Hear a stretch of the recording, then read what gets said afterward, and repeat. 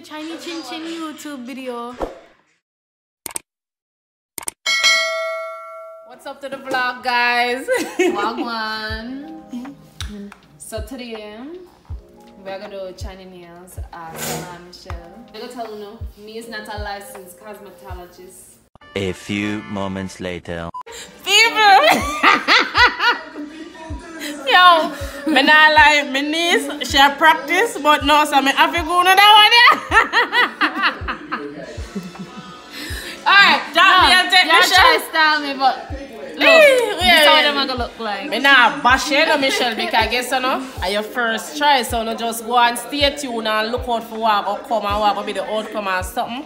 And my niece, she can't do anything to me, she been practicing, okay? So, you know, she have to practice by me first, then when she get perfect and something, something, something. And I wait till she get perfect, then me make she do it. And look out for the um she do my makeover tomorrow. She gonna do my ear and my makeup and something, something, something.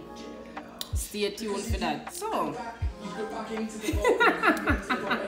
Why Michelle? Me not lie. Them them designer make me dead. I like them.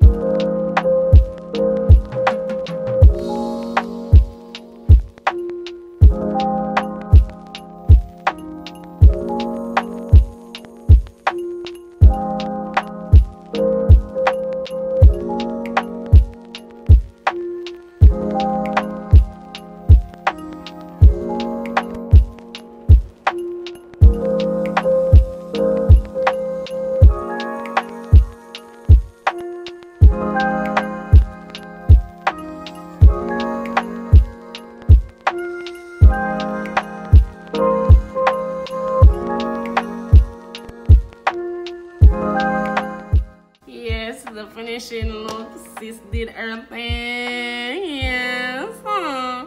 Right now nobody can talk to me.